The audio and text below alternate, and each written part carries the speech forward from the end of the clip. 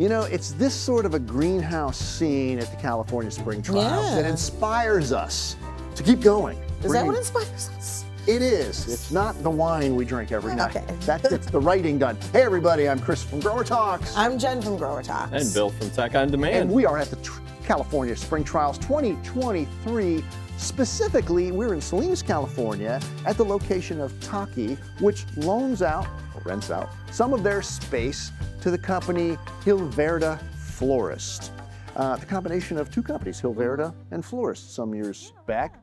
Yeah. So we're going to look at, uh, well, Alstroemeria right over here. Some Gerbera, uh, and a few other things in the back. So, Jen, you seem to know a lot about these new Alstroemeria. Why don't you tell the folks about them? I saw Give a hand, these. I saw these at Costa. Osvaldo and I saw them at Costa a couple weeks ago, and even though it was like 88 in the sh- in the shade, more than that, they actually were flowering. So this one is part of their Summer Paradise series. It's called Summer Heat, and the reason being heat is that it's the most heat tolerant of all of their varieties in the series. It's red with that really nice gold throat.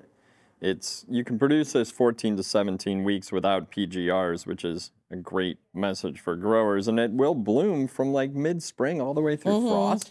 It is a zone seven, um, but Mazzano was saying that it's a wintertime plant in the south and a summertime plant in the north. So you could still grow it really anywhere. And that's great because it is absolutely beautiful.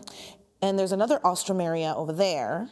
This is the, this is the garden type, and so they have uh, they also have potted types that we'll take a look at. Check this out. The photographers are swarming the Gerbera daisies over here. It's a, we could barely get an, uh, get the corner to show you this new Alstroemeria, part of their Inticancha series. This one's called Sunstar. Uh, all of these are known for their sturdy growth, big flowers. Uh, they're not the fastest thing to grow, 14 to 17 weeks. They like it a little bit cool, but then again, anything with sun in the name, like Sunstar, uh, has some heat tolerance. So uh, pot Alstroemeria is something we would all love to see more of in our garden center. So give those some consideration. What are we going to look at next, Jen? Echinacea. Ooh, I'm in the mood for that. Mood, are you in the good mood? I'm in a, such a good mood. You have to put three O's in Oh it. Oh my, that's good. Oh, they did. They did. This is Moods Echinacea, their first year flowering Echinacea series here at Hilverda Florist. And there are three introductions. Let's show these two first. I'm going to save the last one. These are the, taller ones. On the left, we have Moods Imagination, which is a lovely violet. Looks beautiful with Bill. There it. And I have a great imagination, so you do. You do. Yenzi is showing Moods Devotion, which is this pretty spicy orange to red.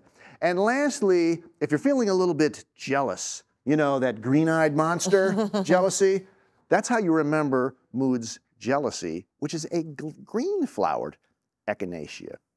First off, um, they recommend uh, a, pinch um, right at sticking, um, and it's about a 14 week crop or so.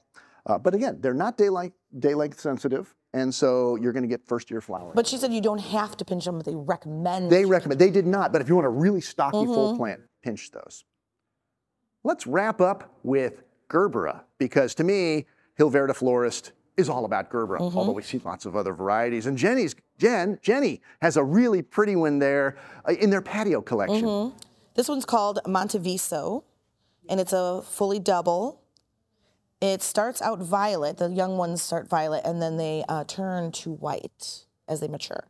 And there is a cultural tip for Monteviso and really this whole patio series, and that is to remove that initial bud so that you get that wow flush of flowers. All right. Speaking of wow, I seem to be attracted to yellow flowers. This is the second time I've brought a yellow flower into the scene. This one is Garvinia, which is their, their garden mm-hmm. type of Gerbera, great for the landscape, and it is called Sweet Joy.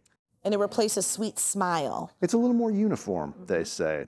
So that's uh, Gerbera, Alstroemeria. Mm, is this for me? And a bit more. Yes, you may have that. You. Just don't let them catch you leaving with it. Uh, Mazzano would give it to Anyway, new varieties from Hilverda Florist here at the 2023 California Spring Trials. Now, can you pronounce that one over there? me. Monteviso. I just said It it. was so easy now. two words. You 47 It's two cuts, words. and there's no T in But you know why? Because I'm not in the moods.